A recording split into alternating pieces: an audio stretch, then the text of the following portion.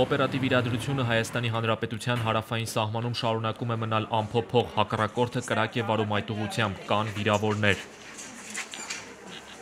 Ադրբեջանական ոտնձգությունները կանխելու նպատակով Հայաստանի սահմանապահ ուժերը դիմել են կանխարգելիչ գործողությունների, հակառակորդին պատճառելով զգալի վնասներ եւ կորուստներ։ Հակառակորդը սահմանի տվյալ հատվածում օգտագործում է անօդաչուներ։